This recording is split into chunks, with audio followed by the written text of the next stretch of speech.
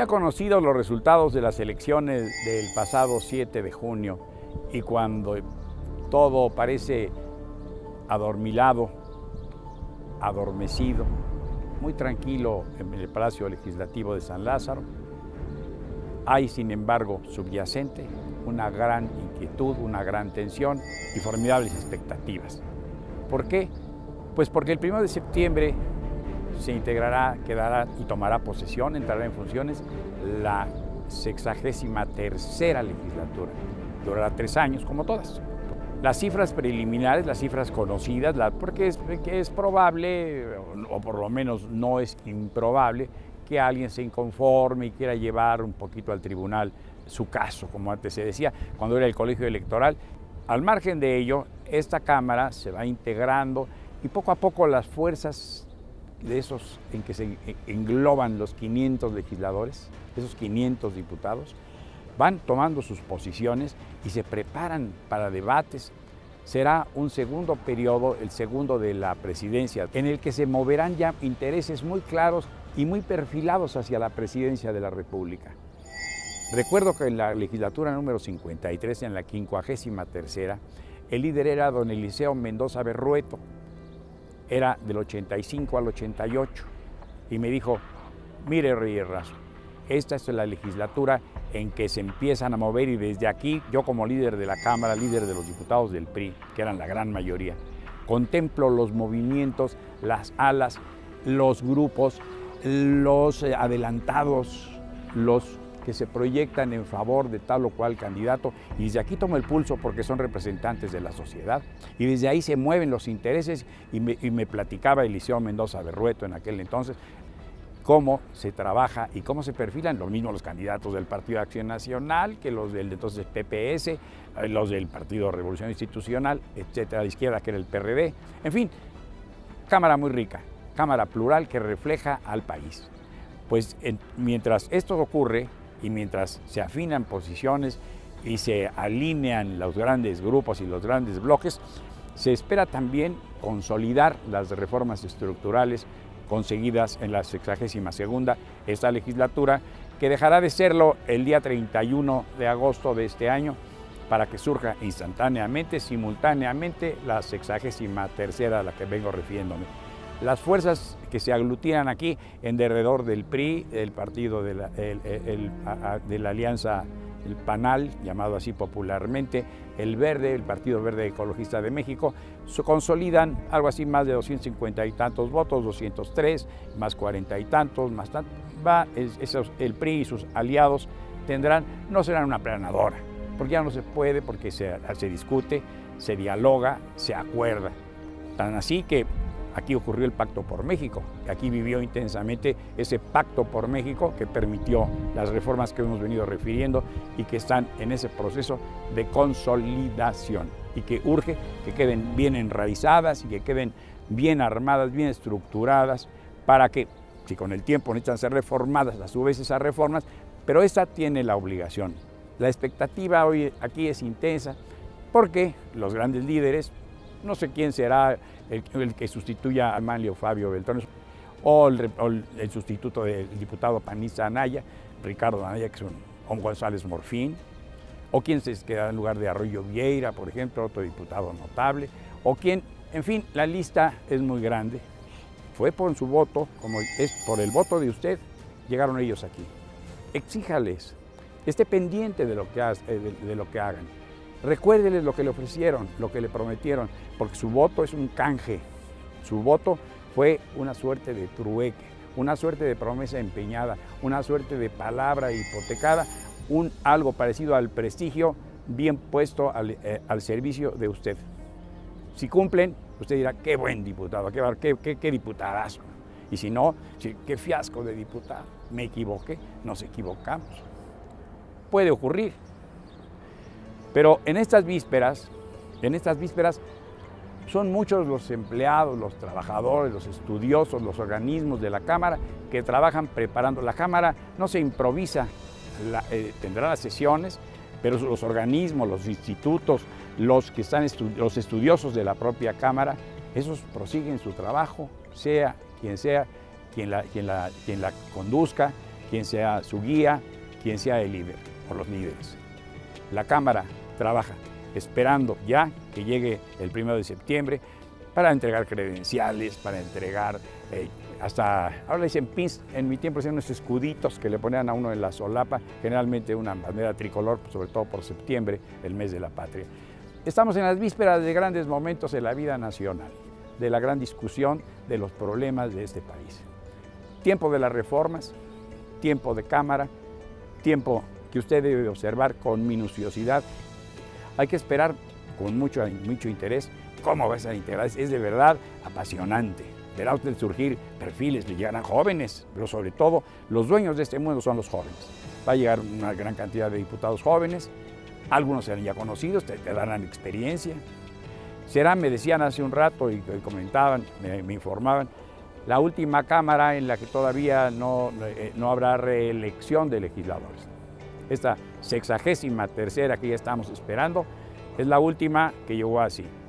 En la próxima a lo mejor nos encontramos con cuates que ya conocimos en la 62 o en la, 60, eh, o en la propia 63, ya para la 64 encontraremos que algunos repiten ya con la carrera de, legislativa en marcha, bien legitimada por la propia Cámara, por los propios diputados. Soy Rey Razo, su servidor. Hasta la próxima.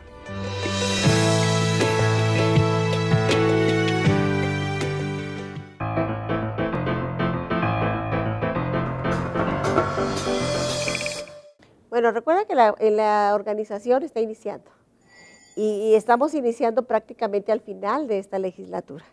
Ya se eligió una nueva legislatura, ¿verdad? Queremos que, esperamos que las mujeres que se incorporan a esa nueva legislatura se incorporen también a la asociación y podamos retroalimentarnos de nuestras experiencias que vivimos aquí en la Cámara, como las experiencias que traen ellas. Ellas traen experiencias no necesariamente parlamentarias, algunas sí, algunas están repitiendo, algunas ya hasta fueron este, funcionarias públicas, otras ya fueron líderes de partido.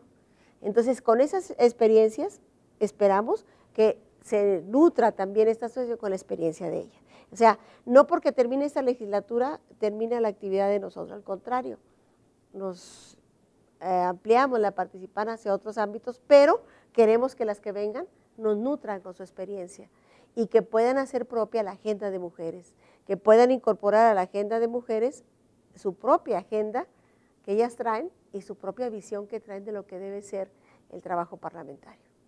Regresamos con este análisis de lo que estábamos hablando hace un rato sobre el papel de la mujer en la sociedad contemporánea, que yo he dicho que tuvieron que pasar varias revoluciones en el mundo para que las mujeres eh, llegaran a las posiciones que ahora comienzan a, desarrollar hasta con el auxilio legislativo y jurídico de esquemas de paridad obligatoria, mitad y mitad y todo lo demás.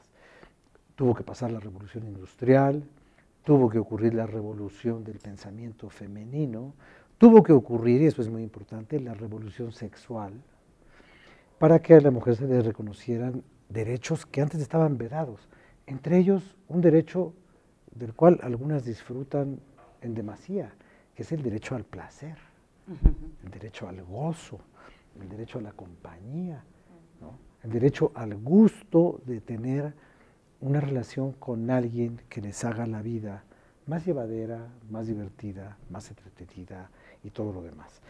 Y bueno, pero junto a eso se las están cobrando. Y yo siempre le digo, se lo digo a mi hija, se lo digo a, a mi esposa, ¿para qué querían tanta libertad si ahora trabajan triple?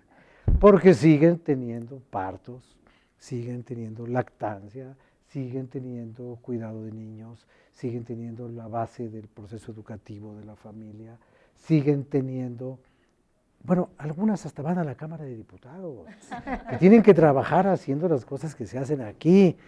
Y después llegan a su casa y tienen 25 problemas porque no vino el del gas, porque no, sé, ese tipo de cosas que van haciendo que la vida sea complicada. Y trabajan, a mí me van a perdonar, pero yo veo que trabajan triple. no sé si disfruten triple la vida, o sí. También. Ah, bueno, Tocas un también. tema muy importante, Rafael. Es, es cierto, se ha complicado la vida para la mujer que, que trabaja. En mujeres por avanzada, en avanzada, somos mujeres que no solamente tenemos un compromiso ético y que abanderamos las preocupaciones e intereses de la mujer mexicana, sino que queremos aportar con nuestra experiencia para que se generen políticas públicas que puedan precisamente facilitar a la mujer el poder transitar en todos los papeles de acuerdo a las oportunidades que le va dando la vida personal, profesional, política en este caso.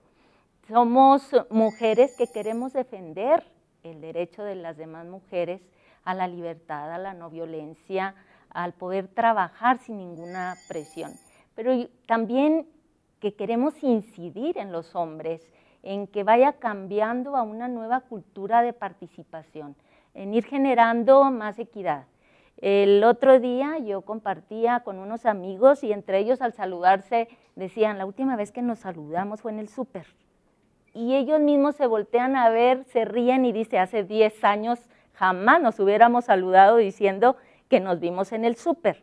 Ya es un avance, un avance la participación que está teniendo el hombre también dentro de la educación de los hijos y dentro del acompañamiento de poder llevar una familia y de poder hacer actividades que antes eran casi vedadas o ridiculizadas entre los mismos hombres. Yo creo que le estamos apostando también las mujeres en avanzada a la madurez que pueda ir teniendo el hombre, a la madurez en que pueda facilitar a la mujer, a su compañera, a sus hijas, a la mujer en general, a la mujer que compañera de trabajo, en poder ir valorando más su preparación, ir valorando más la participación de la mujer en todos los ámbitos, en el político, en el social, en el económico. Y yo creo que en eso le apostamos mujeres en avanzada al desarrollo de México.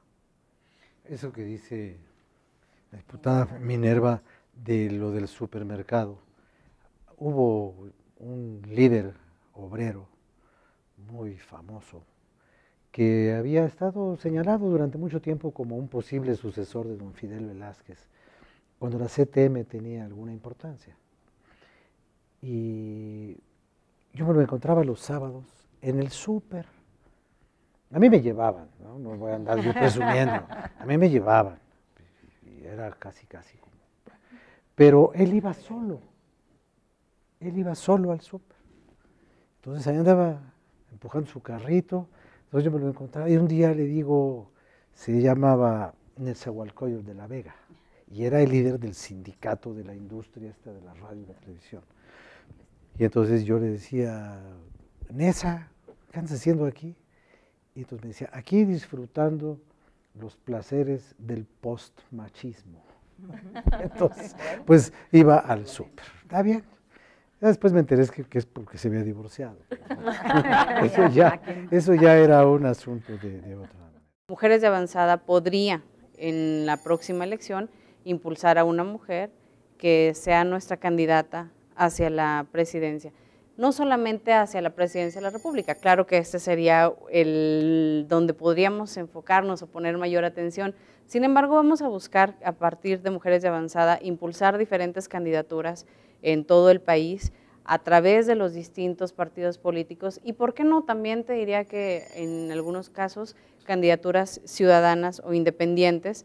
Eh, lo que buscamos es, a partir de Mujeres de Avanzada, fortalecer e impulsar nuevos liderazgos y los que ya se encuentran, los liderazgos que ya existen, pues que también permanezcan y se continúen fortaleciendo a partir de la asociación civil.